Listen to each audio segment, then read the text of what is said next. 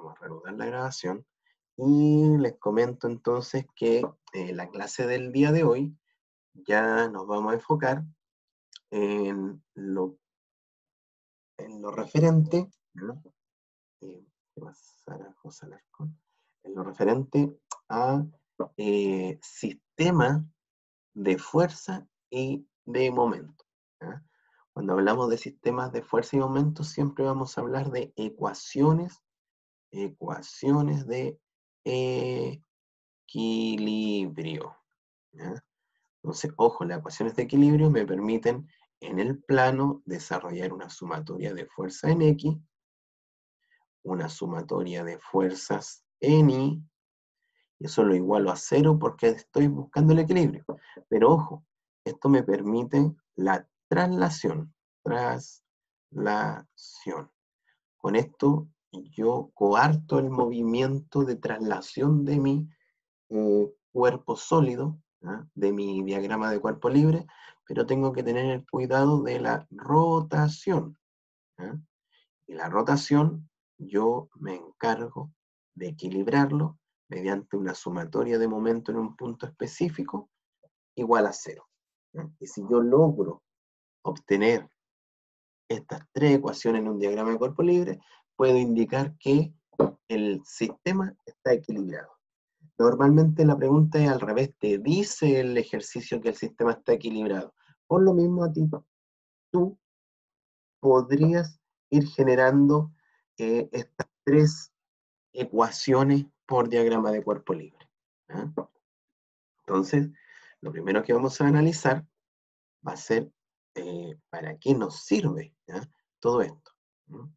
Entonces, eh, el sistema de fuerzas y momentos, así le vamos a llamar. Los, efectos de las fuerzas, los efectos de las fuerzas dependen no solo de sus magnitudes y direcciones, sino que, sino también, deme dos segundos que justo entraron muchos, eh, están pidiendo entrar, ahí. Los efectos de las fuerzas dependen no solo de sus magnitudes y direcciones, sino también de los momentos que ejercen. El momento es una fuerza que es capaz de generar un giro. Entonces, si nosotros tenemos un diagrama de cuerpo libre de un elemento, por ejemplo ahí, si yo le genero una fuerza acá, y en este punto, y en este punto, yo pongo, por ejemplo, un, un pasador, ¿ah? o imagínense que hicimos una cartulina y al final le pusimos un alfiler y lo pegamos a la pared. Así yo a esta cartulina le genero una fuerza así, hacia abajo, esto va a tener un giro. Y podemos decir que esta fuerza tiene la capacidad de generar un, un giro, y a eso le llamamos momento. Que el momento, en definitiva, es la fuerza que tiende a generar giro, la rotación que hablé anteriormente. Los momentos causan el giro de la maquinaria como la manivela de un barco de vela, las ruedas de un vehículo, los cigüeñales de un motor, por ejemplo, las turbinas en la central térmica, todo eso me va generando momentos. Más adelante, ¿ah? más adelante, vamos a hablar de la diferenciación entre torque y momento. Pero por mientras vamos a hablar solamente y nos vamos a referir a momento. ¿ah? Es más, también se escucha mucho en los libros que le llaman el par, un par de fuerza. ¿ah? Y le voy a explicar por qué se llama un par. Em, aún si la suma de fuerzas que actúan sobre un cuerpo es nula, estas pueden ejercer un momento que se denomina par. ¿ah?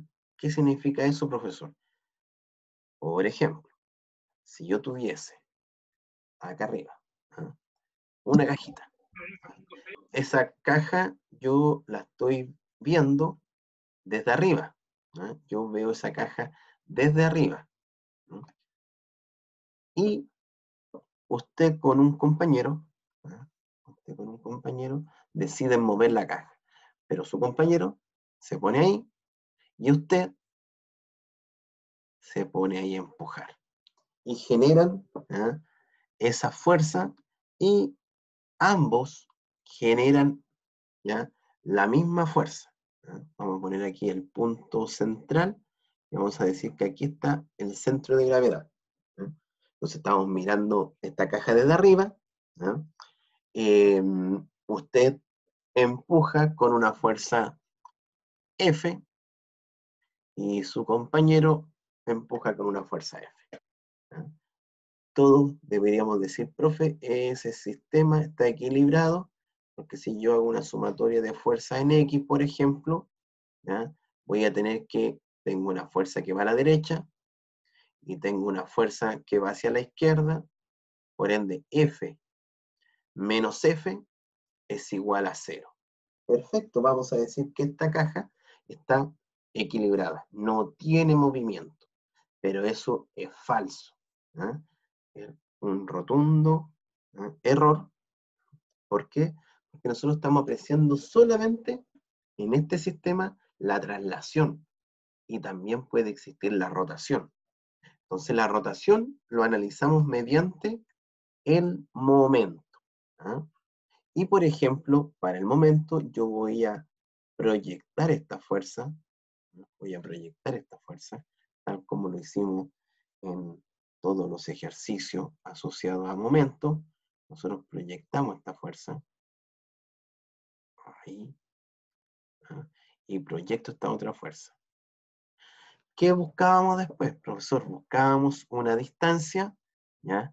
Desde el centro de gravedad, o donde yo quiero hacer el momento, que en este caso va a ser ahí en el punto cero, ¿ah? para buscar una distancia en donde tenga la perpendicularidad con la proyección de esta fuerza. Entonces, encuentro que ahí existe la perpendicularidad, justamente ahí. Y a esa distancia le llamábamos la distancia D. Consiguiente, acá abajo lo mismo, la distancia D. Y le llamábamos D y lo llamábamos D. ¿ah? Ahora, hay que sumar. Y lo que sumamos es una sumatoria de momento. Recuerde, habíamos quedado que la sumatoria de fuerza era cero. Pero ¿qué pasa si yo digo, ahora voy a hacer una sumatoria de momento en el centro de gravedad, justamente en ese puntito, en el centro de gravedad, igual, y tengo F, es una fuerza por una distancia, ah, entonces una fuerza por una distancia. Me genera un sentido horario. Lo voy a dejar positivo porque voy a indicar que las fuerzas que generen momento horario van a ser positivos. También podría decir, profe, puede ser al revés, totalmente. Luego tengo la fuerza que está abajo. La fuerza que está abajo es una fuerza con una distancia que me genera momento. Sentido, ah, profe, nuevamente horario. Por ende, esta fuerza F, que está la fuerza superior, me genera ese giro y la fuerza F inferior me genera ese giro. Ah, pues aquí sería más F por D también. Profesor, aquí no es cero, obvio. Aquí sería el resultado. El resultado sería 2F por D. Significa que esto no está equilibrado, significa que esto está moviéndose. Y ahí uno puede decir, pero profe, si la sumatoria de fuerza fue cero, yo pensé que el sistema no se estaba moviendo. No, pues no se estaba trasladando, pero sí está rotando. ¿ya? ¿Por qué? Porque existe un par de fuerzas que genera este giro. Piense esto cuando usted genera un apriete o un encierre de alguna válvula, ¿ya? Una válvula grande de alguna tubería, que usted toma la válvula por acá, por, por el otro costado, y genera una fuerza hacia usted y genera una fuerza contra usted. Las fuerzas se anulan, pero el momento se incrementa. ¿ah? Y a eso le llamamos entonces un par. Entonces, si un cuerpo está en equilibrio, la suma de los momentos respecto a cualquier punto debido a las fuerzas externas y pares actuando en él es igual a cero. Entonces yo tengo que lograr la suma de fuerza y la suma de momento sea igual a cero. Y ahí recién puedo decir que mi sistema está equilibrado, porque si no, no tengo un sistema equilibrado. ¿ah? No voy a tener un sistema en equilibrio. Antes de que continúe su estudio del diagrama de cuerpo libre y del equilibrio, es necesario que usted se familiarice con los momentos, los pares y el concepto de sistema equivalente de fuerza y momento. Entonces, volvemos a esto. Volvemos a la misma ecuación que vimos anteriormente antes del primer certamen. El momento en un punto específico va a ser una distancia por una fuerza. No va a cambiar ese concepto, solamente que ahora yo voy a hacer sumas ¿ya? de varias fuerzas y lo voy a igualar a cero para ir encontrando incógnitas que necesite.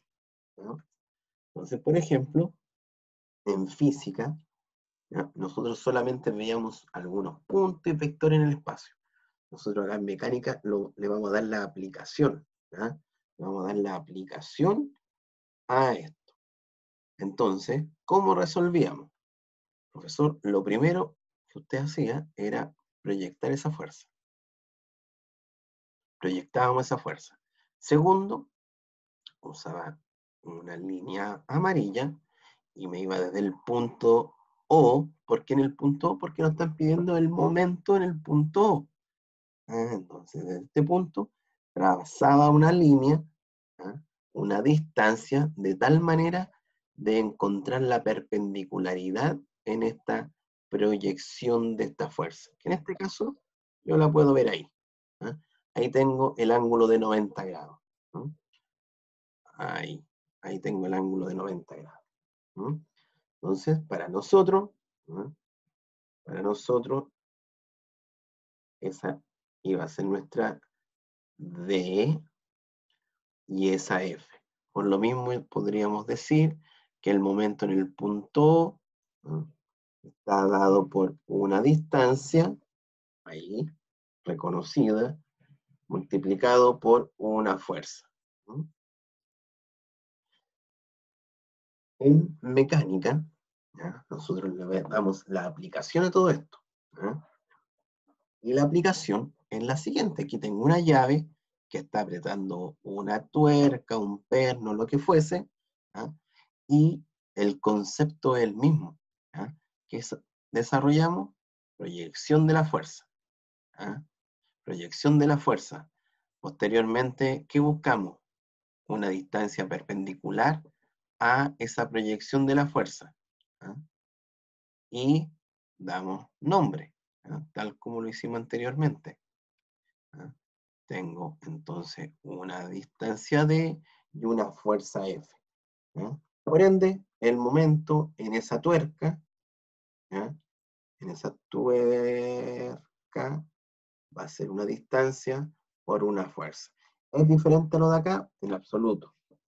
Ahora, ojo, que muchas veces se nos hace difícil encontrar esta distancia y es más sano hacer otro trabajo que lo desarrollamos en clases anteriores, que es descomponer la fuerza, entonces generamos una descomposición de esta fuerza F en su componente X y en su componente Y, porque yo eh, de alguna manera inclino mi eje de referencia, y posteriormente busco la distancia desde este punto a ahí. ¿ah? Desde ese punto hasta ahí. En donde me doy cuenta que la fuerza ¿ah? en X o Fx ¿ah? o la componente X no me genera momento. ¿Por qué? Porque está en la misma línea de acción de esta distancia ¿ah?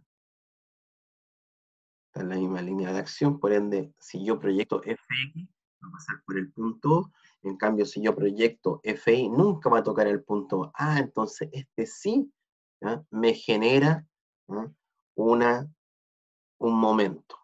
FI sí me genera un momento. Y con sentido antihorario. Entonces, esto mismo lo tenemos que llevar a todos nuestros ejercicios que vamos a ir desarrollando. Y las unidades, vamos a expresar el momento, newton metro o libras pie. ¿Ok?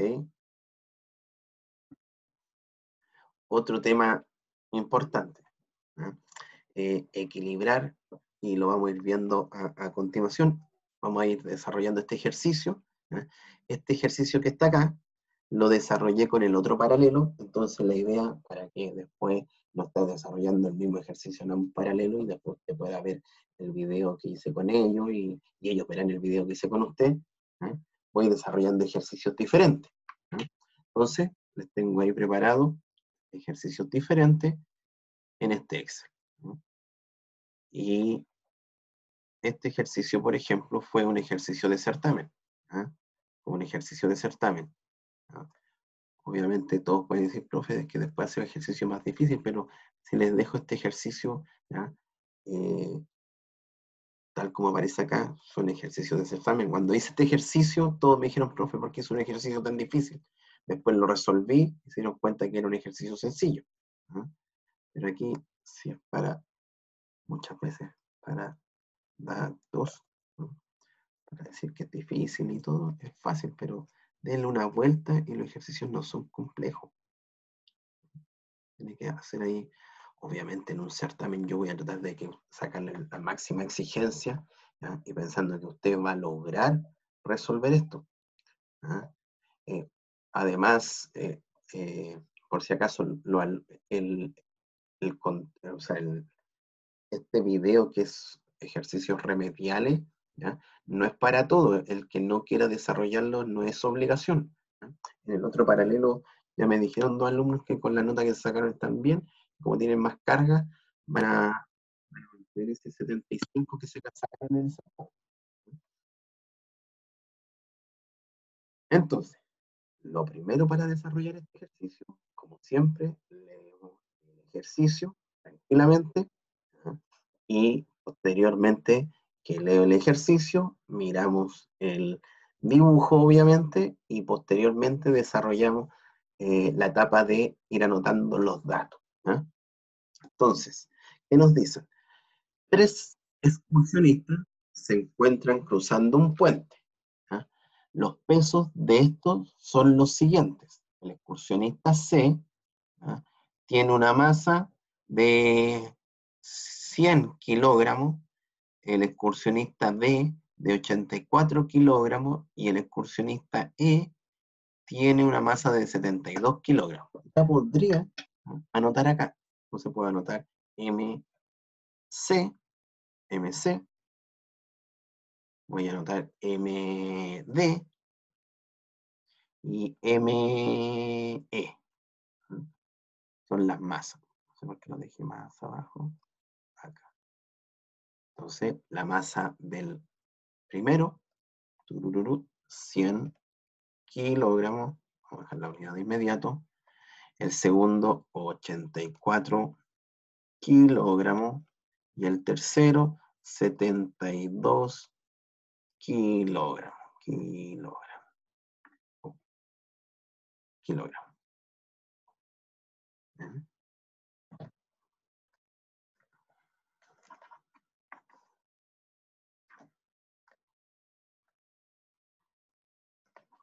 Dice, determine el valor de A, que es A. Si observamos la figura, el valor de A es esta es una distancia. Ojo, también está acá. A es una simple distancia, entonces tengo que encontrar esa simple distancia. Esa simple distancia. Determine el valor de A cuando las reacciones en los apoyos, ah, aquí tengo la reacción, tengo en un apoyo y en un apoyo A y en un apoyo B. Recuerden, yo quiero equilibrar este sistema. ¿Cómo lo puedo equilibrar? Si tengo cargas que van hacia abajo, ¿cómo van a reaccionar esos dos apoyos? Ah, profe, con una fuerza contraria, obviamente. ¿ah? Obviamente. Entonces, continuación, lo vamos a desarrollar en un diagrama de cuerpo libre. Pero antes, anotemos más datos. ¿ah? Veamos, nos dan una distancia, vamos a distancias.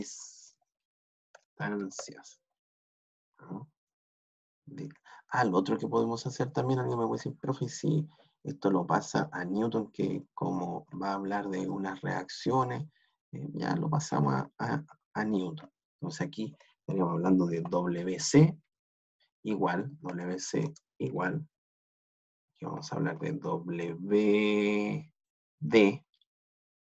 igual, igual, y de WE igual. Y acá, ese valor por 9,81. Y el resultado nos queda en Newton.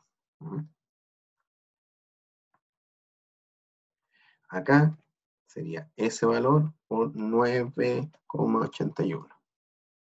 También en Newton. Y aquí sería 72 por 9,81 Newton. Oh, Newton. Ahí tengo. Si es que lo quiero trabajar en peso, en Newton, ahí los voy a tener. Los voy a dejar con ese color. Después digo, vamos a anotar las distancias. La distancia, por ejemplo, la más representativa de esto es la distancia de A a B una distancia de 6.5 metros. Después hay una distancia de A a C, a C, es un metro.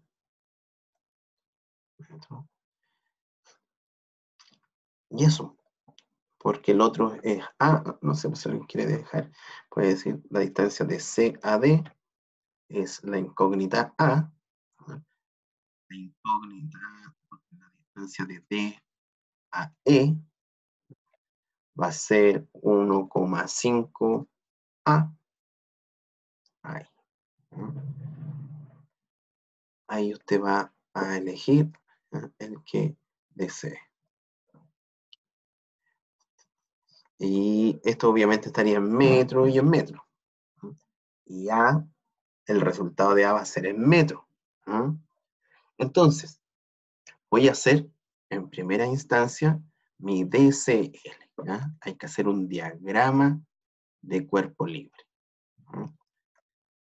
Diagrama de cuerpo libre. Y usted dice, profesor, ¿pero de qué va a ser el diagrama de cuerpo libre? ¿Qué es lo que tiene que equilibrar? Ya, tengo que equilibrar el excursionista C no, porque si tengo una fuerza de un peso que va hacia abajo, va a haber una normal hacia arriba, ya no hay mucho que hacer ahí. Eh, precisamente de los excursionistas voy a usar su peso, pero no tengo que hacer diagrama de cuerpo libre de ellos.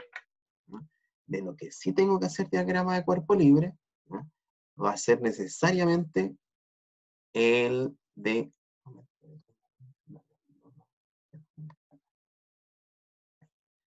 necesariamente el diagrama de cuerpo libre que tengo que desarrollar va a ser de este puente, de este puente. Entonces, DCL, puente. Y yo voy a dibujar ese DCL. puede decir, profe, pero ese puente está con una curva. Lo es independiente si está con curva o lo hace recto. Para el caso es lo mismo porque las distancias que le están dando son distancias horizontales. Esa curvatura, eh, déjeselo para el dibujo, pero recuerde que el diagrama de cuerpo libre es una figura que uno hace más sencilla. Para no estar haciendo la curvatura, obviamente, yo la voy a dibujar de forma recta y no hay mayor importancia en esto para este caso.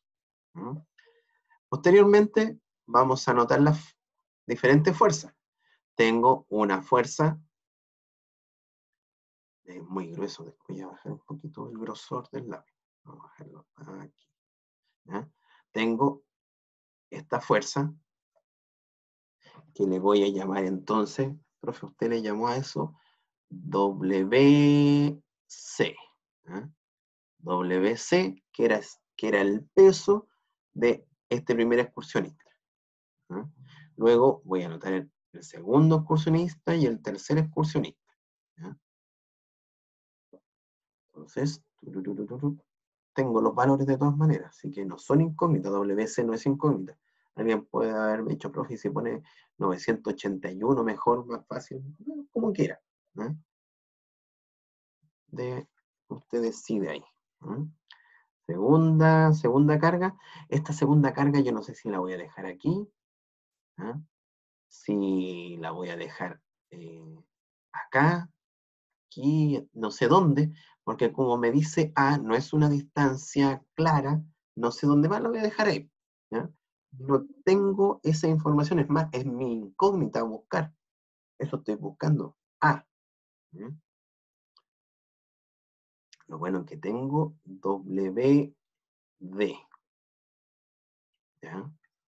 Y por último, la carga, de ahí 1.3 veces, 1.5 veces A, Vamos a dejar un poquito más alejado. Ahí.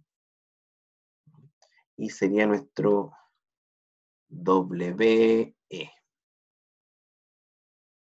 ¿Mm? Ojo, espero que WE no me quede acá afuera. ¿Mm? Si me queda allá afuera, significa que el sistema, para cumplir esto, no me permitiría que este excursionista esté dentro del puente. Eso significaría, no más que eso. Mm. Pero veamos si nos queda dentro o queda afuera. Entonces, muchachos, si nosotros vemos este dibujo, apreciamos esta configuración. Tengo mi puente, tengo tres excursionistas sobre el puente, y nos preguntan, determinen el valor de A, pero ¿para qué? cuando las reacciones en los apoyos A y B son iguales. Ah, me está diciendo entonces, estas reacciones tienen que ser iguales. Profesor, mire, usted dibujó esas dos cargas para abajo. Si usted dibuja esas dos cargas para abajo, ¿el sistema estaría equilibrado? Mm, yo le diría, me parece que me equivoqué. Porque si yo dibujo esos vectores hacia abajo, tengo cinco vectores que van hacia abajo. ¿Y eso qué significa? El sistema se estaría moviendo, no estaría en equilibrio. Yo tengo que buscar el equilibrio. Entonces, aquí claramente estas dos vectores que dibujé tienen que ir hacia arriba. Ahí y ahí. Y ahora sí puedo decir que estos tienen que ser del mismo tamaño. ¿ah? ¿Por qué? Porque me lo exigen. Ahí está el enunciado. Me dice que las reacciones A y B son iguales. Y aquí, muchachos, empezó en aquel instante cuando hice este certamen, A, R, A, voy a llamar este reacción A, y este va a ser reacción B. Alguien me puede decir, profe, ¿le puedo poner A y el otro B? Correcto, puede poner A y B estamos dando nombres solamente para hacer esto más sencillo. Voy a dejarlo un poquito más abajo, aquí, con el fin de poner las ecuaciones que vamos a usar acá arriba. Y aquí, como les comento, empezó eh, este problema para el desarrollo de este ejercicio. No, no sabían cómo obtener RA y RB para que fueran iguales. Y la respuesta, usted la puede tener ya en su mente muy clara, la respuesta es muy sencilla. Es muy sencilla. Lo primero, sumatoria de fuerzas, fuerza en el eje Y. ¿Podría ser una sumatoria de fuerza en el eje X? Mm, profesor, si hace una sumatoria de fuerzas en el eje X, usted tendría cero. Y como usted quiere el equilibrio, dice que es cero. Ah, cero igual a cero. O sea, ¿para qué hice esto? Para nada. No tengo fuerzas en el eje X, así que no me sirve, o sea, voy a saber que 0 igual a 0, no voy a llegar a nada. Entonces aquí de inmediato descartamos, descartamos esa, eh, esa ecuación, la sumatoria de fuerzas en el eje eh, X. Recuerde, aquí usted tenía un metro. Aquí tenía A, aquí tenía 1.5 veces A. ¿Cuántas incógnitas tiene este ejercicio? El profesor tiene la incógnita RA, tiene la incógnita RB, y tiene la incógnita A y tiene la incógnita 1.5A. O sea, tiene cuatro incógnitas, eh, partiendo A y 1.5A, obvio, la incógnita es solamente A. Como, profe, tengo la incógnita A y la otra es 2A. Bueno, calcula A y el resultado lo multiplicas por 2 y vas a tener A y 2A. Ah, ya, entonces ahí ya me quedo con tres incógnitas. A, RA y RB. Profe, lea aquí el enunciado, dice que las reacciones A y B son iguales. Ah, entonces puedo decir que ARA es igual a RB. O sea, descarto de inmediato. Digo que esta va a ser RA. Entonces tengo dos incógnitas. ¿Y cuántas ecuaciones puedo hacer en un diagrama de cuerpo libre? Profesor, usted por cada diagrama de cuerpo libre, usted puede hacer tres ecuaciones. Una sumatoria de fuerza en X, aquí ya no nos sirve, la anulamos. Una sumatoria de fuerza en Y y una sumatoria de momento. Tengo dos ecuaciones, tengo dos incógnitas, puedo dar respuesta a este ejercicio. ¿Ok? Así se va resolviendo. Con ese análisis previo. Lo bueno, como les comenté, ¿ya? vamos a tener lo siguiente. Sumatoria de fuerza en I. Vamos a decir entonces, voy a mover esto para acá un momento. A insertar, vamos a insertar un símbolo, que ese símbolo es de sumatoria. Sumatoria de fuerzas en I igual a cero. ¿Por qué igual a cero, profesor? Porque quiero que el sistema esté equilibrado. Ojo, quiero que el sistema esté equilibrado. Profesor, ¿hubiese podido usted partir con una sumatoria de momento en vez de una sumatoria de fuerza en el eje Y? Sí, también pudo haber partido con una sumatoria de momento en vez de una sumatoria de fuerza en Y. Pero va a ir dependiendo del ejercicio a quién le va a dar prioridad uno a otro. ¿Mm? Mi sugerencia es que en este ejercicio usted comience con una sumatoria de fuerza en Y porque así va a obtener de inmediato las incógnitas que están abajo. RA y RB, RA y RB son iguales. Son iguales por lo que acabamos de hablar. Em, tendríamos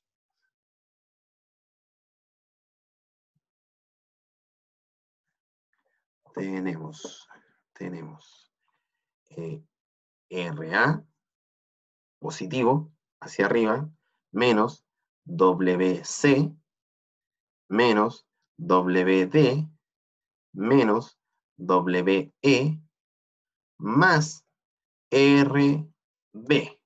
Lo voy a llamar RB primero para que, eh, recordando que esto, en primera instancia, era RB nomás.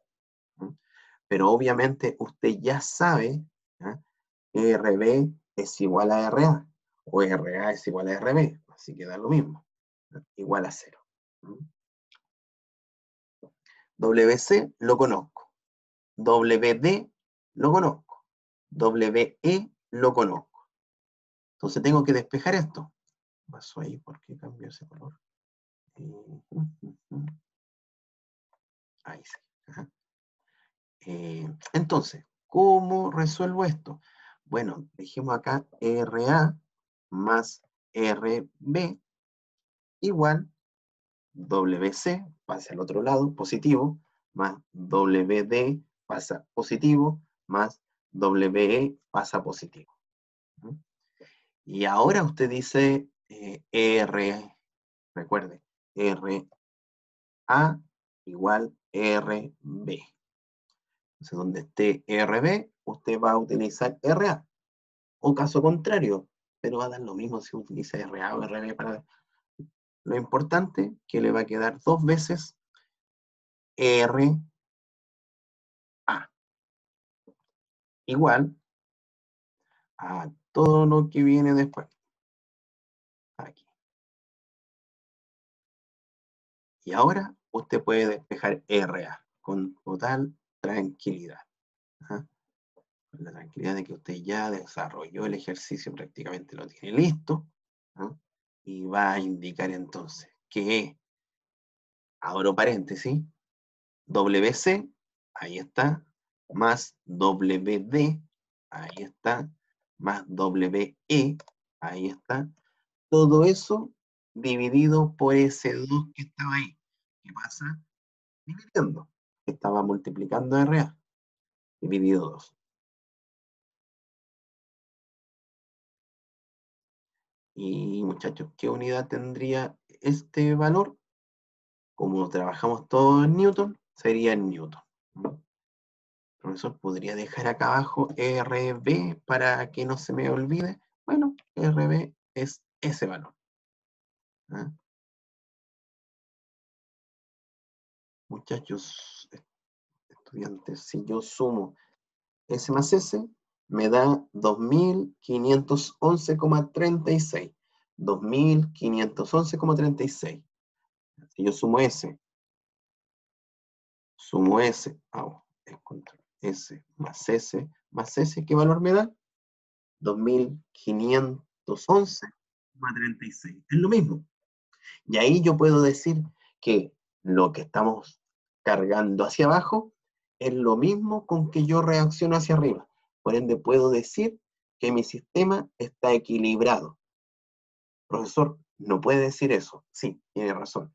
Lo que puedo decir es que mi sistema está equilibrado para la traslación. Tengo que revisar ahora cómo tengo que equilibrar este sistema para la rotación. Porque equilibré recién para la traslación. Entonces ahora buscamos la rotación, el equilibrio de esa rotación. Vamos a dejar ahí con amarillito.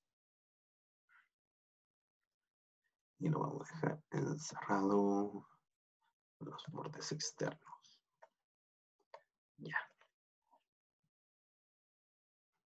No, aquí la pregunta es solamente A. Entonces, tengo que seguir. Hay que seguir. En un diagrama de cuerpo libre puedo hacer tres ecuaciones. Sumatoria de fuerza en X, sumatoria de fuerza en Y y una sumatoria de momento. Mm, en este ejercicio la sumatoria de X no me lleva mucha referencia y por lo mismo opto para desarrollar la sumatoria de fuerza en X, en, Y, disculpe, y el momento que me está faltando. sumatoria de momento en el punto, recuerde, cuando hago una sumatoria de momento, tengo que elegir un punto donde voy a desarrollar esa sumatoria. Que en este caso, puedo elegir el punto A. profesor, ¿puede elegir el punto B? Sí, puede elegir el punto B, pero se le va a hacer más difícil porque va a tener que estar haciendo la resta de 6,5 menos cada uno de esos elementos va a ser más engorroso no se los recomiendo. No es que esté malo, va a llegar igual al resultado, pero se va a dar cuenta que va a asumir un costo que, ¿para qué? Más enredo.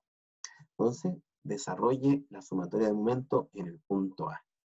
Y, para que quede bien ordenado, tenemos sumatoria de momento en el punto A igual a 0. Esta A la dejo pequeña. Ahí. Y ahí. Desarrollo entonces la sumatoria. Tengo que hacer una sumatoria de momento en el punto A. Y comenzamos. Vamos a decir, en primer lugar, aquí que sentido horario positivo.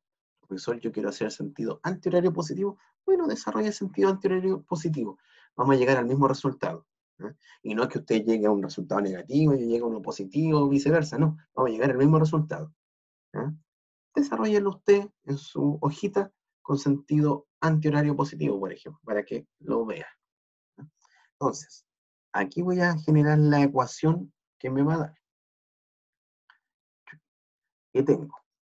RA no me genera momento. No, pues RA no me puede generar momento porque estoy haciendo el momento justamente en ese punto. Y como ese vector llega directamente a ese punto, no me genera momento. Generaría solamente traslación. Tiene que haber una distancia. Como la distancia que hay entre WC y RA. WC, una fuerza vertical. Necesito una distancia horizontal. WC, una carga en el eje Y. Necesito una distancia en el eje X. Entonces ahí tengo la primera. WC por 1, que sería ese un metro. No voy a poner esa M porque si no, entre tantas letras, las otras letras que van a ver, nos podemos confundir. Pero todos sabemos que es un metro. Ojo ahí, ¿ya? Seguimos. WD. WD. ¿Genera momento? Sí, profesor. Y también me genera un momento horario, tal como WC. WC me generaba un momento horario debido a que si yo me posiciono con mi pulgar en el punto A y mi palma va a ser esa distancia horizontal de un metro, cuando viene W me cierra la mano en un sentido horario. Lo mismo hace WD. ¿Ok? ¿Por qué me está recordando que tengo clases con ustedes 10 minutos más y ya estamos en clase? Eh, entonces tengo WC por un metro, positivo.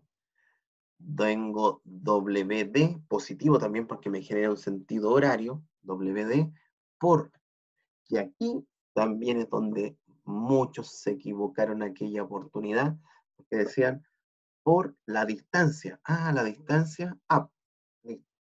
Y seguía. Y no es la distancia. ¿ah?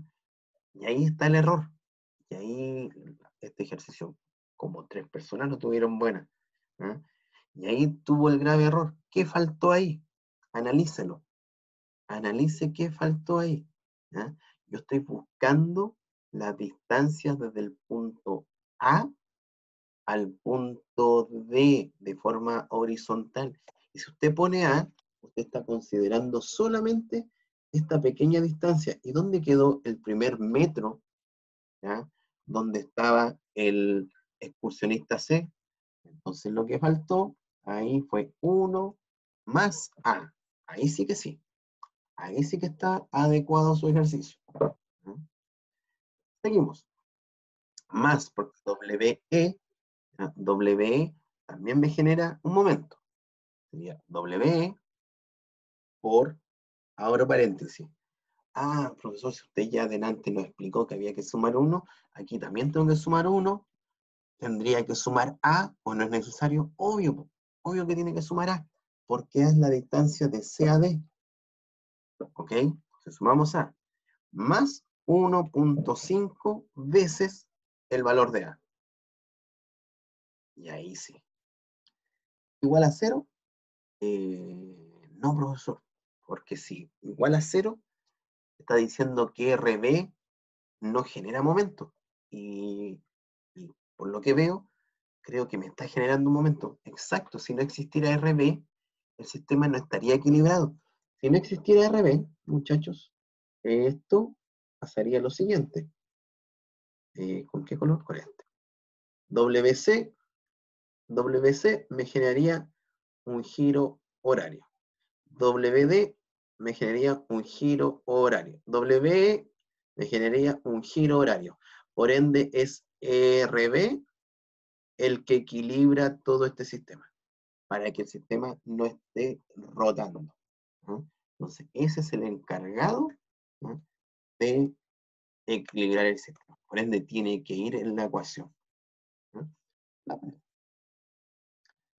profe, pero mire, el sentido que da RB, no es RB, RB, es sentido antihorario. Por ende, sería menos RB, RB, por, y aquí está este error. Muchos hacen esto. Y se olvidan de la distancia que tiene RB. RB también es una fuerza que genera momento. Y una fuerza que genera momento o, un giro necesita de la fuerza y necesitamos de la distancia. Si pongo solamente RB, estoy diciendo que es una fuerza. RB por sí sola iría en la sumatoria de fuerza que hicimos acá arriba. Y ahí está. Pero acá no. Aquí no puede ir sola. Aquí tiene que ir acompañado de una distancia. ¿Y cuál sería esa distancia? Profe, la distancia desde el punto A al punto B, era 6,5 que nos indicaba la figura. Ah, perfecto. Obviamente no voy a poner metros para no marearnos, pero ahí estaría el resultado final. Lo voy a dejar acá. ¿Ya? Ahora, para que podamos de alguna manera, eh, vamos a resolver esto para ir sacando las A, ¿ah? porque aquí mi única incógnita es A, no tengo otra incógnita. ¿ah? Conozco RB, conozco WC, WD, WE, A es la incógnita. Entonces, ¿cómo nos quedaría? En primer lugar, nos quedaría doble, WC por 1, así que nos olvidamos de ese, más WD por 1, ah, WD, ¿ah? más WD por A. ¿Qué estoy haciendo? Estoy multiplicando este WD por 1, este WD por A. Más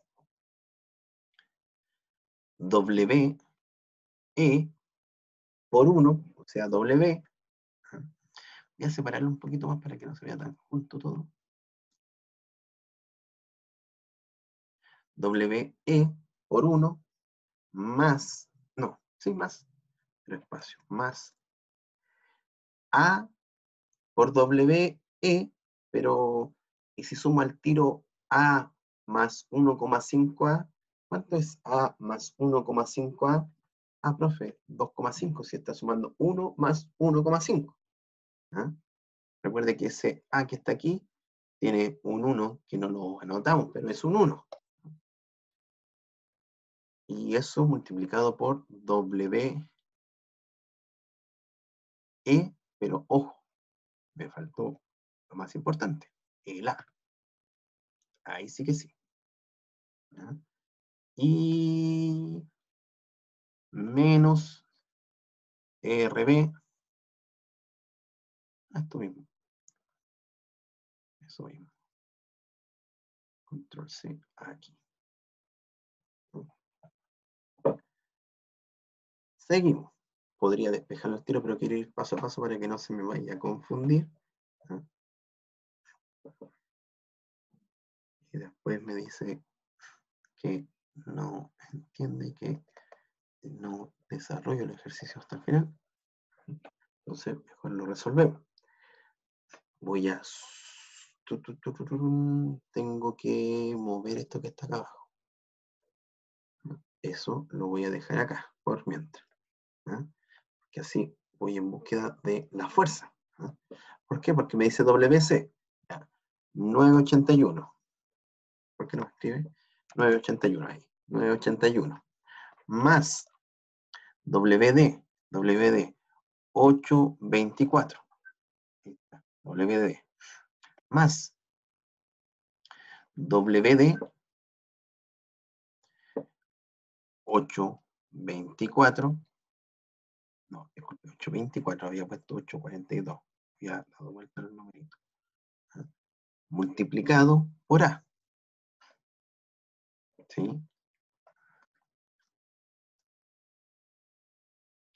Multiplicado por A, eh, más WE, WE 706,3, más 2,5 eh, por WE, que era 706,3. Ahí ya puedo multiplicar estos dos para tener un resultado ya único. Y eso multiplicado por A. Por A.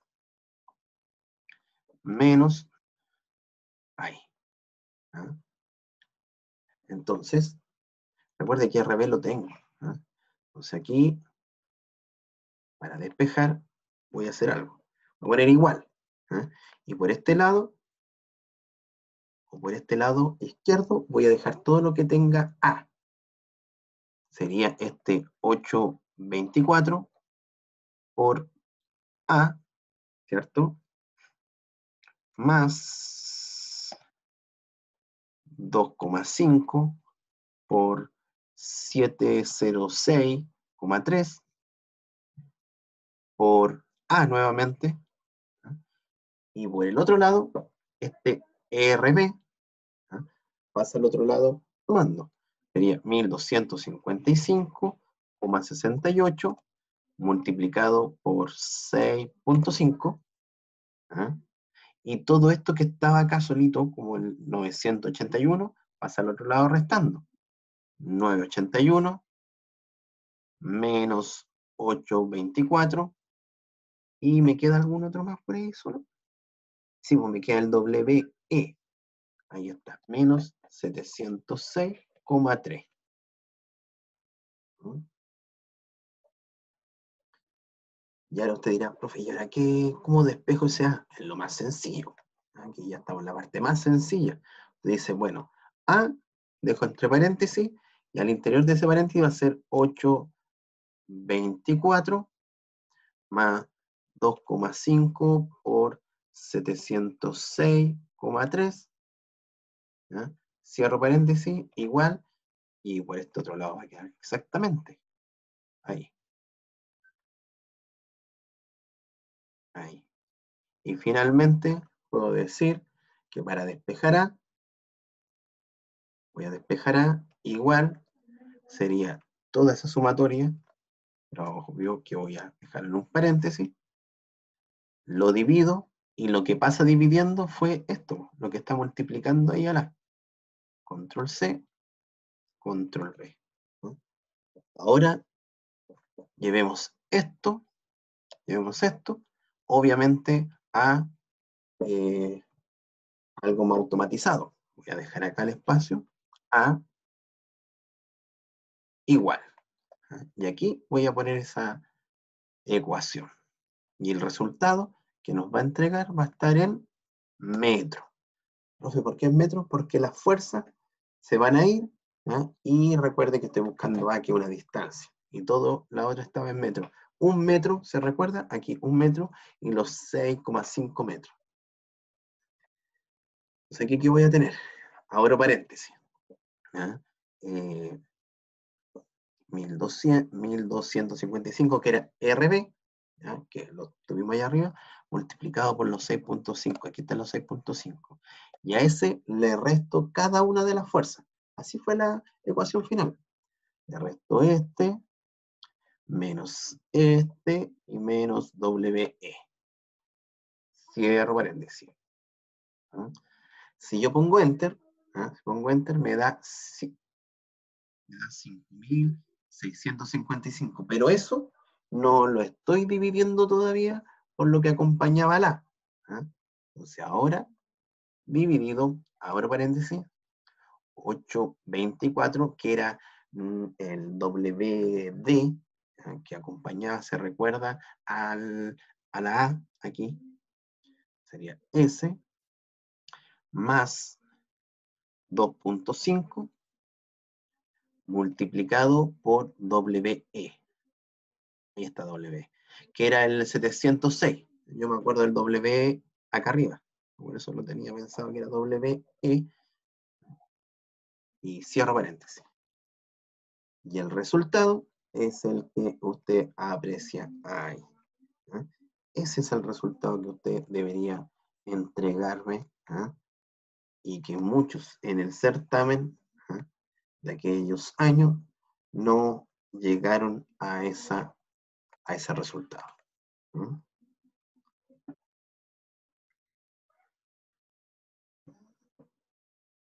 ¿Dudas? ¿Comentarios? ¿Dudas, comentarios?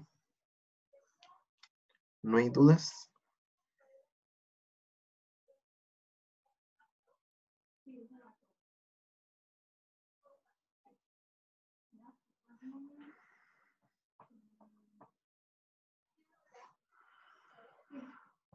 Ya, no hay dudas.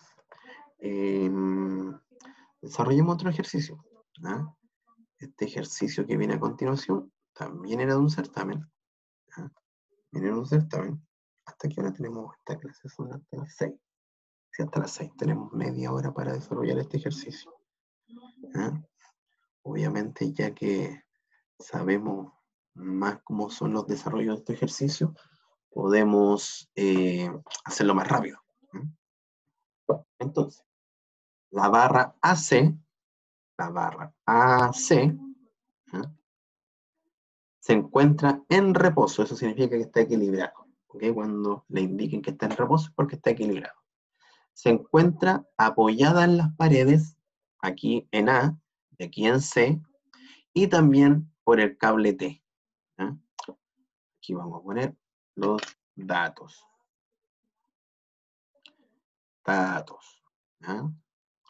Esta barra posee un peso, aquí tenemos el primer dato, el peso de 3080 newton.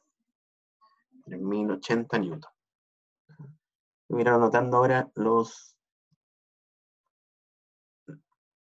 los datos de inmediato. Y el cable se fija en la barra en el punto B.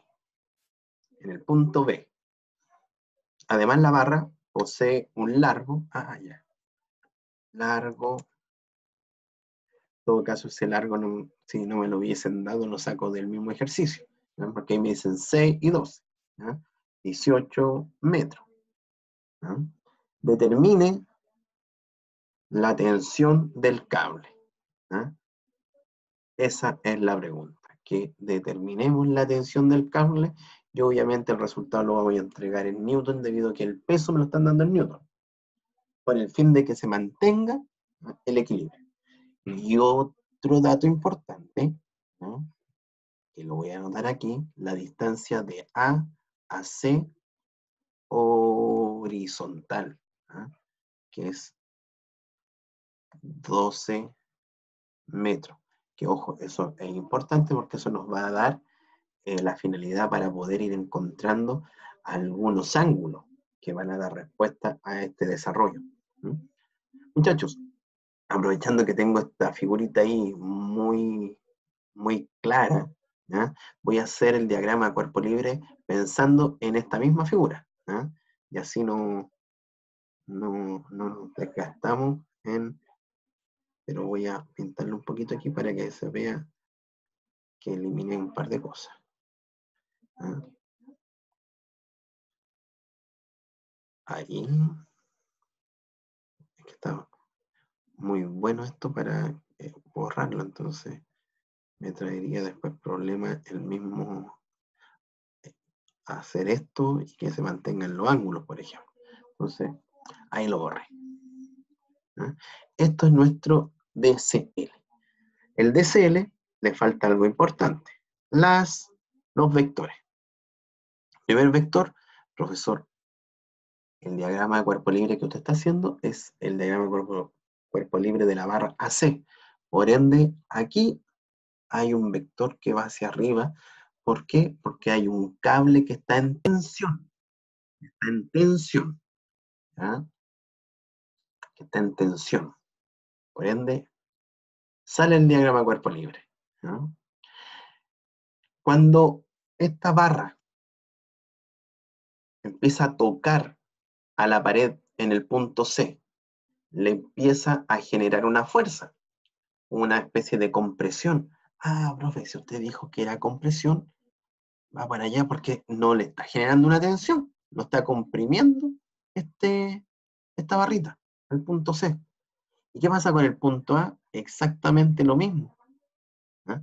Siempre cuando un sistema esté apoyado sobre algo, esa superficie va a generar una reacción perpendicular a la superficie. ¿ah? Y eso es sumamente importante que lo tenga claro. ¿ah? Si nosotros tenemos, por ejemplo, una viga, y aquí tengo carga, y aquí tengo un pasador, pero aquí está descansando sobre un terreno, ¿ya? La reacción que voy a dibujar acá va a ser acá, perpendicular a este mismo terreno, donde está apoyado. Si este terreno que acabo de indicar hubiese tenido cierta inclinación, ¿ah? ¿cómo sería la reacción? Profe, como dijo usted, va a ser perpendicular al plano donde está. Ah, entonces perpendicular aquí, manteniendo el ángulo de 90 grados. Por lo mismo, como estaban las paredes, las paredes que en su momento yo fui borrando, pero mira, la puedo, ahí, ahí está.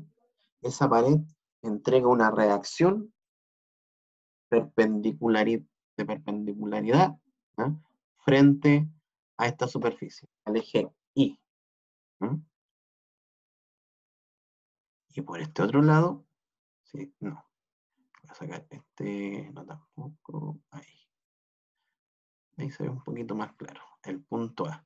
Está soportando la pared, así, por ende, la pared le entrega una reacción ¿ah? perpendicular. ¿Por qué perpendicular y no con un ángulo? ¿Ah? Porque recuerde que aquí nosotros decimos que este elemento puede moverse en el eje Y, tiene ese grado de libertad, tiene el grado de libertad para moverse hacia arriba o hacia abajo, porque no hay nada que lo esté apretando, no hay nada que lo esté soportando, sujetando, está libre. Se puede mover para arriba o para abajo, pero no, no va a poder entrar a la pared, porque va a estar la pared ahí. Y esto es acción y reacción.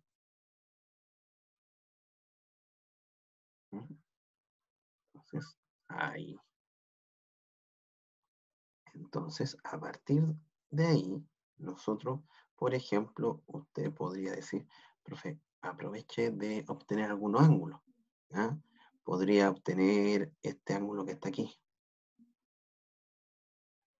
que le vamos a llamar el ángulo alfa. ¿Cómo podríamos generar ángulo alfa? Bueno, mire, aquí tiene un triángulo. Ahí tiene un triángulo. Ahí un triángulo de ángulo 90 grados. ¿Cómo podríamos obtener ese ángulo? Em, el coseno, ¿cómo se utiliza el coseno? El coseno de alfa, el coseno de alfa es el lado adyacente, o sea, 12 dividido por la hipotenusa o sea, 18. ¿ah?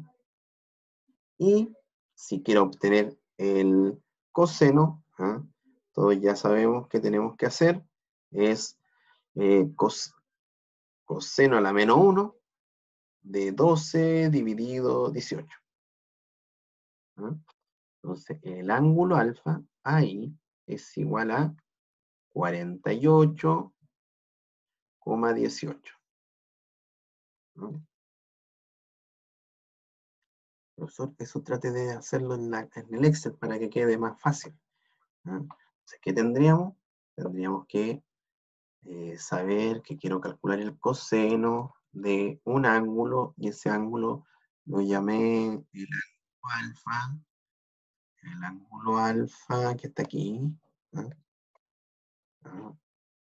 Y en primer lugar hay que calcular acá Igual, recuerde, coseno es el lado adyacente dividido por la hipotenusa. El seno es el lado opuesto dividido por la hipotenusa. La tangente es el lado opuesto dividido por el lado adyacente. Esas identidades trigonométricas se las tiene que saber. Sería acá 12, que es el lado, dividido 18, que es la hipotenusa, que es el largo AC.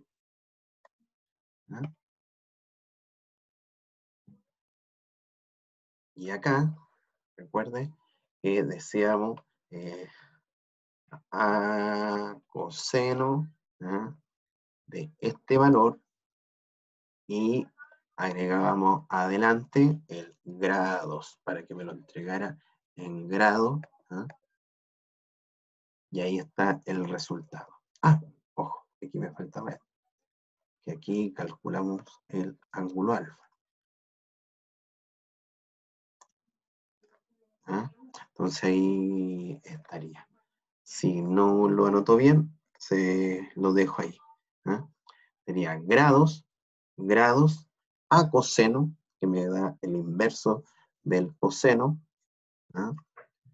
tal como lo hicimos aquí en la calculadora. En la calculadora usted buscó seno a la menos 1, buscando shift, por ejemplo, shift coseno. Y tenemos el ángulo.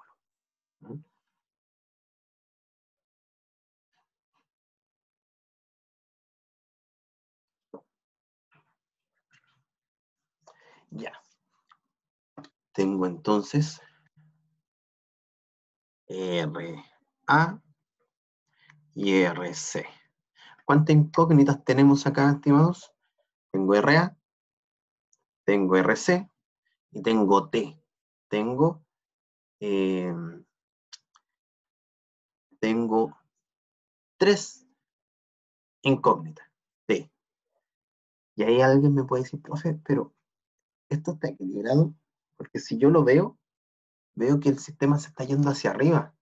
Me dice, ojo, ojo, ojo, porque nos falta un vector que no lo hemos puesto, que sería el vector, y lo voy a dejar acá con un grosor, que sería el vector del peso propio que tiene este, esta barra.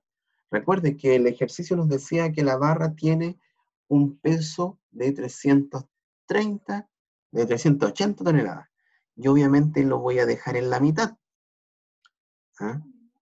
Siempre se deja en la mitad, salvo que nos digan, no nos digan, nos digan lo contrario, ¿ok? Si nos dicen eh, el, eh, el, peso está eh, asociado a un tercio desde el punto A, ¿ah? pero si no nos dicen, siempre va a ir ¿ah? en la mitad, como centro de gravedad de esta barra. Como es una barra homogénea, puedo hacer esto. Y ahí está W. ¿Cuál sería la distancia? Y aquí no deberían tener duda entonces, desde aquí hasta acá. ¿ah? La distancia de ahí hasta C ¿ah? no es otra distancia que 9 metros. Igual la distancia desde este punto al punto A, 9 metros. Si está en la mitad. ¿ah? Entonces, aquí tenemos que desarrollar las tres ecuaciones porque tengo tres incógnitas. Las primeras dos ecuaciones son de alguna manera sencillas, sumatoria de fuerza en X y la sumatoria de fuerza en Y son sencillas, pero si yo hago sumatoria de fuerza en X, tengo RC y RA, ambas incógnitas. Ya, pero si hago una sumatoria de fuerza en Y, sumatoria de fuerzas en el eje Y. ¿Qué tendría ahí como sumatoria de fuerza en el eje Y? ¿Ah? Tendría T menos W.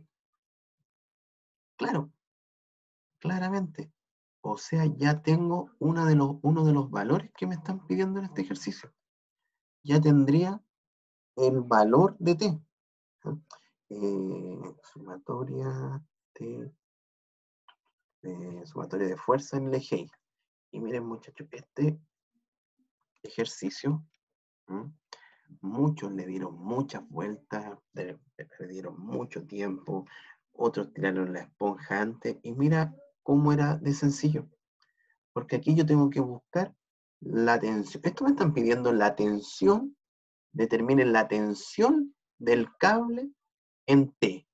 No me están pidiendo buscar RA, no me están pidiendo buscar RC. Tan sencillo como la tensión. ¿Y qué tendría aquí?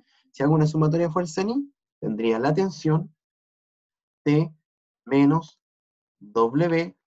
¿Hay otra fuerza actuando en el eje I? Mm, no, profesor, porque en la pared usted dijo que era solamente reacciones perpendiculares a la superficie por donde se puede mover este, o no hay más. Igual a cero. Con esto, que digo que la tensión, disculpen, la tensión T es igual a W. Newton. O sea, hemos encontrado la respuesta de inmediato a nuestra pregunta. Tengo la tensión T, usted en el aula hubiese puesto 380 y está listo. Pero muchos le dieron muchas vueltas y no llegaron a nada. ¿ah? Pero vamos más allá nosotros, ya que estamos acá, desarrollemos también RA y RC. ¿ah? Entonces, desarrollemos eso. Si yo hago una sumatoria de fuerza en X, voy a hacer acá sumatoria de fuerza en eje X, ¿qué tendríamos? Tendríamos, para seguir el orden, ¿ah? control C, ahí, control C, acá, control B, ¿ah? cambio esa Y por esa X, ¿y qué tendría? RA, porque va a la derecha, menos RC, porque va a la izquierda, igual a cero.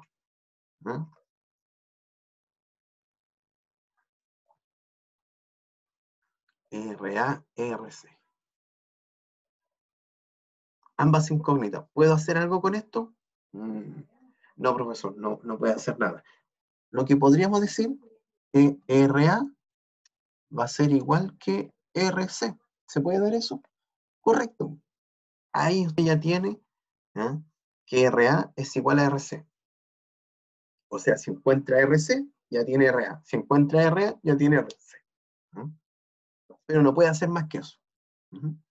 Igual es interesante haber encontrado esta, eh, esta función, que voy a decir que RA es igual a RC. Y, por último, sumatoria de momento en el punto A. Voy a desarrollar el momento en el punto A. Empezamos. Voy a empezar con W, porque W me genera un sentido horario y así parto con algo positivo, porque siempre, normalmente yo utilizo como la sumatoria horaria, sentido horario positivo. Ya. ¿Qué tendríamos? Tendríamos eh, ah, para mantener el orden. Control C, control B, y aquí voy a decir que es el momento en el punto A, y eso lo vamos a dejar más pequeño. Sabemos que estamos desarrollando una sumatoria. Y mm, no dejé muy grande. Mis. Ahí más fuerte. Desarrollemos el momento. ¿Cómo quedaría? Primero, como dijimos, W por una distancia. Ah, profe, por 9. Por 9 la distancia. Ojo, ojo, ahí estaría totalmente errado. ¿Por qué? Por lo siguiente. La distancia de 9 metros es desde aquí. Mmm, deme dos segundos para ensanchar este color. Desde ahí hasta ahí. Eh, buscar otro color. Aquí ya. De ahí hasta ahí tengo los 9 metros. Pero yo, ¿qué distancia estoy buscando? Yo estoy buscando la distancia de aquí a acá. ¿Mm? Entonces, lo que tiene ahí usted es un triángulo. Y lo que va a buscar es la distancia que está acá abajo, ese cateto. Ojo que es 6, pero vamos paso a paso para... Eh, porque como está en la mitad, si está en la mitad de la barra, también está en la mitad de 12 metros. Eso es obvio. Pero quiero que ustedes se vayan dando cuenta de eso. Entonces voy a buscar esta X. Esta X1 voy a llamar, X1. Y es un triángulo. Ojo, es este triángulo. voy a hacerlo más, más bonito. Es este triángulo. cuyo lado es X, alfa y 9. Sabemos que, sabemos que es 9 metros, sabemos que esto es alfa. Acá, ahí 9 y este es el ángulo 90 grados. ¿Qué puedo decir acá? Alfa, alfa es conocido. Entonces puedo decir, mire, el coseno de alfa conocido va a ser igual al lado adyacente Ah, profe, está haciendo lo mismo que acá. Correcto, es lo mismo, solamente con dimensiones más pequeñas. Dividido por la hipotenusa, 9. Entonces 9 lo pasa al otro lado acá, 9 por coseno de alfa.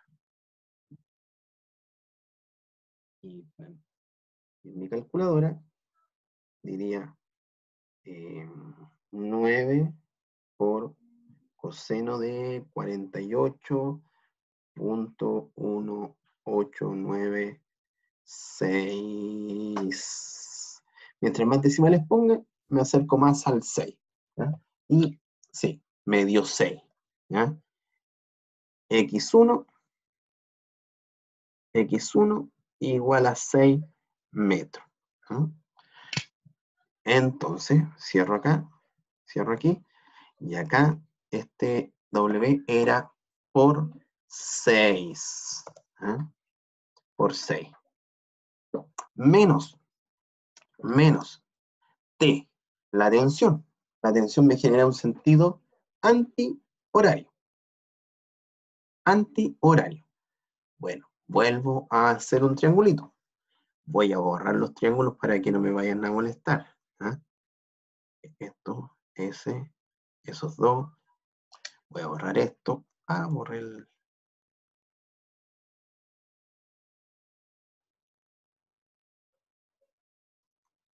ahí, para dar, para dar espacio al nuevo triángulo. Profesor, ¿cuál es el nuevo triángulo? El triángulo que tengo que hacer ¿ah? para T, que sería más grueso, que sería ahí, abajo, abajo y ahí. El ángulo alfa se mantiene, no va a haber variación tiene que ser el mismo. ¿ah? Tiene que ser el mismo, no va a cambiar. ¿ah? No ha cambiado. No ha cambiado.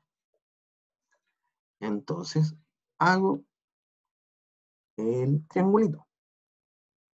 Más pequeño que el anterior, pero manteniendo el mismo ángulo. ¿ah? Y ahí estamos.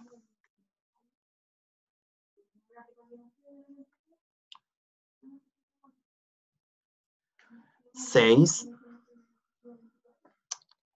Vamos a hacer un poquito más delgado. 6.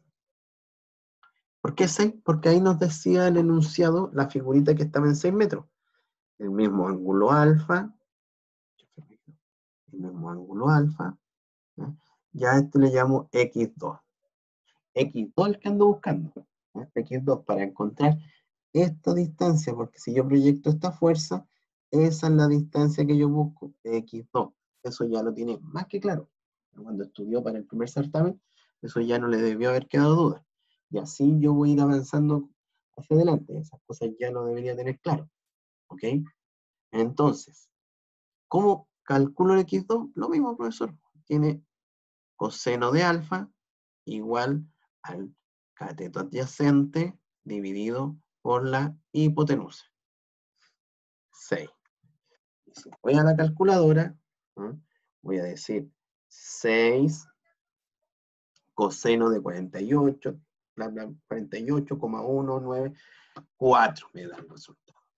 X2, X2 es igual a 4 metros. Entonces, me voy acá y sería T por 4. Y ahora, revisando, digo, a ver, ¿conozco W? Sí. ¿Conozco T? También. ¿Conozco RC? Mm, no. ¿Y RC genera momento? Eh, ah, profesor, claro que sí. RC, RC me genera un momento. ¿ah? Y eh, un momento importante. ¿ah? Ojo, que RC es una fuerza ¿ah? que está actuando en el eje X. ¿Qué necesito entonces? Si está actuando en el eje X, necesito entonces proyectar esta. Me quedó muy chueca. Proyecto esta fuerza. Y lo que voy a buscar va a ser lo siguiente. Esta distancia. Ahí. Esa distancia necesito. Lo bueno, lo bueno que esa distancia es esa, h. La voy a llamar h. La voy a llamar h. Que es la misma que está ahí, obviamente. Pero ¿por qué la dibujo ahí? Porque así nos damos cuenta de que puedo trabajar con el mismo triángulo inicial. Y para trabajar con eso y encontrar h, ahora cambio la táctica.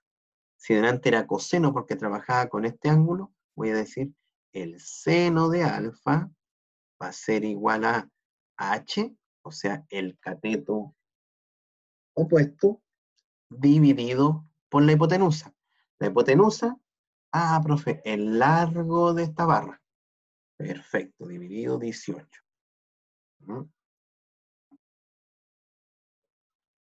¿Qué tenemos?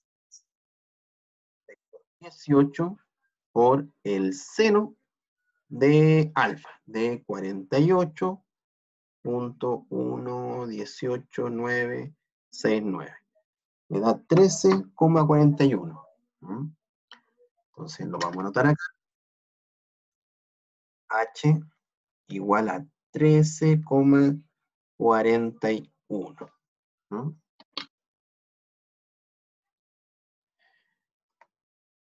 Y acá, entonces, sería positivo o negativo RC. A ver, si me posiciono acá, con mi pulgar hacia afuera, mi palma hacia arriba, RC, me cierro la mano. Ah, me genera un sentido contrario a las manecillas del reloj. Prendes menos RC por 13,41. Igual a 0. ¿Y aquí qué necesito despejar? RC. Entonces despejo RC. Pero antes de, así voy a poner RC igual. Como hice muchas cosas en la calculadora, yo siempre he dicho, oye, mejor lo vamos trabajando por, por los, diferentes eh, usos que vamos a darle acá al, al Excel. Yo, por ejemplo, podría encontrar en primer lugar x1. Se recuerda que calculamos x1 y x1 lo calculamos de la siguiente manera. Dijimos que iba a ser em, el coseno, ¿cierto? Igual. x1 era la distancia en x de, de RA hasta donde la proyección de W. Del punto A la proyección del peso. Que sería 9 por el coseno, el coseno de este ángulo, obviamente multiplicado por pi y dividido por 180, que sería 6. X2, X2 que también lo calculamos,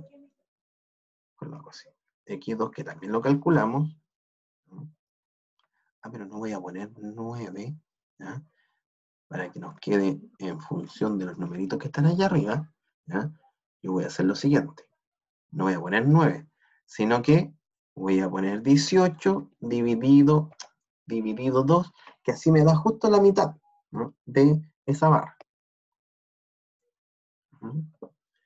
Eh, me faltó poner la distancia entonces de 6.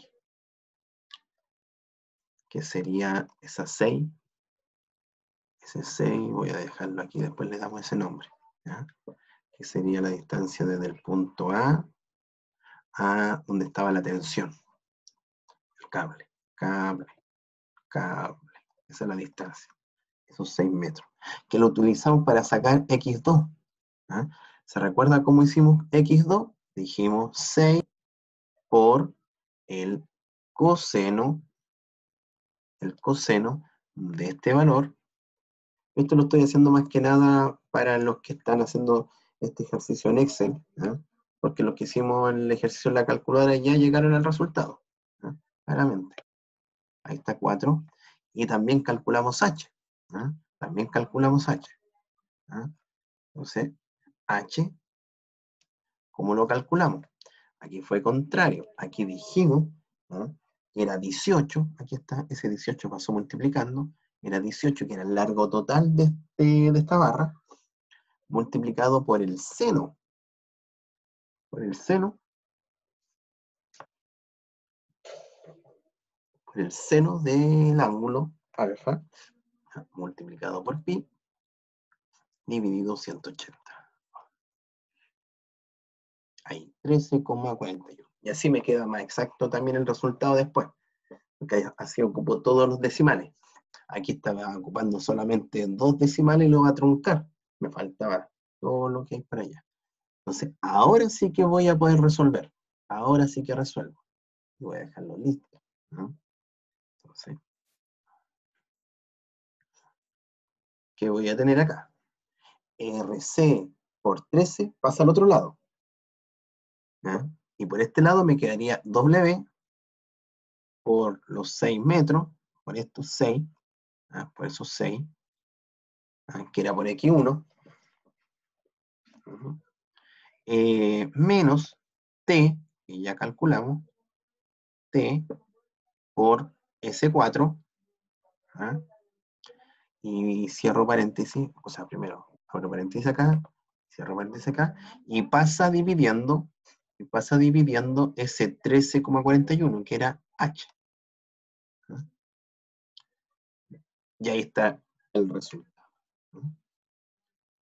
Y muchachos, si alguien dijera, profe, pero nos falta RA, bueno, RA, sabíamos que RA y RC es el mismo valor. ¿Por qué? Porque aquí lo habíamos indicado en esa. En esa ecuación habíamos indicado lo que les comento. Entonces ahí está. Ese es el resultado de la reacción en la pared NRA y NRC. Son iguales, correcto, si no hay más fuerza. Y la tensión es la misma tensión que genera eh, el peso. Como les comenté, aquí eh, está desarrollado el ejercicio que hice con sus compañeros del otro paralelo, ¿ah? Para que lo revisen y vean el video y así vamos avanzando con más ejercicios. Mañana vamos a ver otros ejercicios más. Y, y, por ejemplo acá, que no lo hice, este fue un ejercicio de certamen también, del año, hace dos años atrás. Pero eso mañana quizás lo hacemos. Eh, ya bueno. Eh, voy a dejar de grabar, voy a detener la grabación